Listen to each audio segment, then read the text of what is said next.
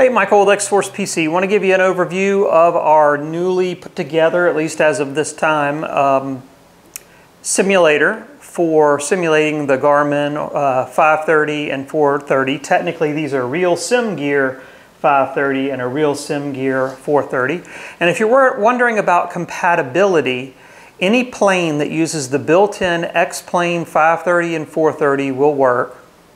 Um, as far as third-party 530s and 430s, homegrown, you know, written special 530s and 430s, you know, you need to look into it before making a purchase just to be sure it's compatible. If you're not sure, you can ask us and hopefully we can tell you one way or the other. Now, the base system does come with the 530 and the 430, but if you don't need one or the other of these, we're not going to force them on you. You can delete one or the other and then, you know, save a little bit of money. Now, if you do that, you'll get a slightly different bracket. Like this is the one that holds just the 530. You know, you're not going to have some ugly hole here in your uh, bracket because this bracket does hold both the 530 and the 430. Now, I will tell you this um, bracket, plate, stand, whatever you want to call it, it's very sturdy. You can hear me kind of tap it on that kind of hard and it's barely moving this stand. So you can push these buttons and the stand's not going anywhere. So if you don't you know, have a cockpit to put this into, you can still go with the included stand and it does a really nice job. It's kind of thick, heavy metal um, that it comes with. Now, as far as what else does it come with, let's start top down. We've got our 49 inch ultra, super ultra wide monitor. It's the equivalent of two 27 inch 1080p TVs, or excuse me, monitors side by side, but with no bezel in the middle. The reason we go with this is because it gives you a wide field of view but only uses one monitor connection because each of these uses a monitor connection.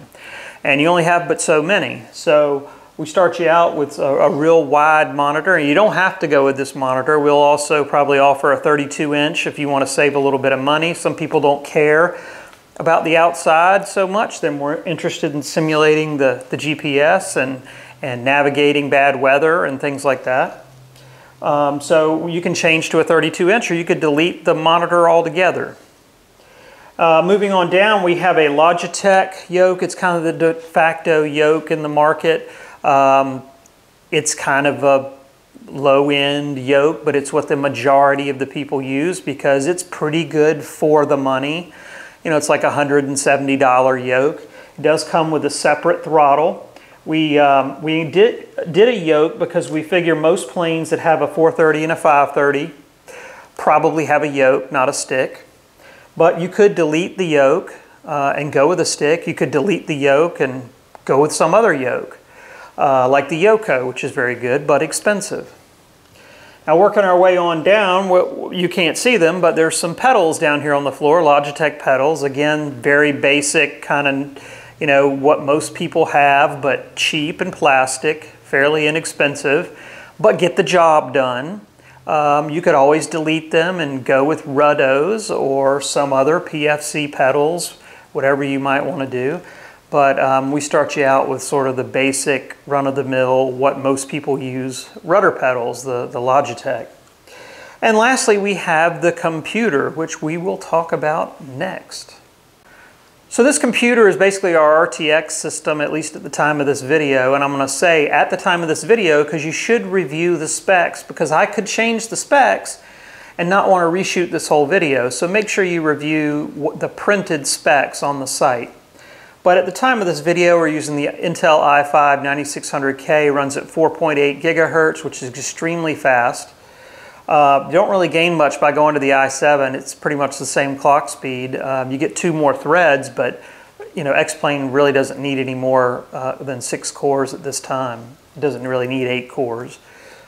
I guess that could change in the future, but it hasn't over the many years. We have 16 gigs of really fast memory, DDR4 uh, 3600, again at the time of this video, check the specs. We have a one terabyte, very fast, solid state drive, very nice and roomy. Again, check the specs, we could change that at some point.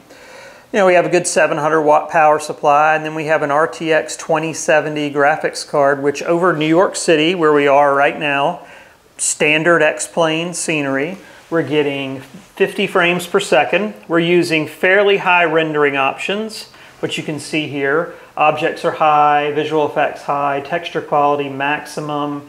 Anti-aliasing is kind of towards the middle. That's the one when you play with this anti-aliasing can make things look nicer, but also can lower frame rate. So if we bump this up to the, the second highest one, you know, our frame rate will go down to about 35 over New York City as opposed to uh, 50. So you could, you know, play around with that, but it's certainly very doable. Uh, again, that's at the time of this video. Hopefully X-Plane improves performance and that number goes even higher, but that's at the time of this video.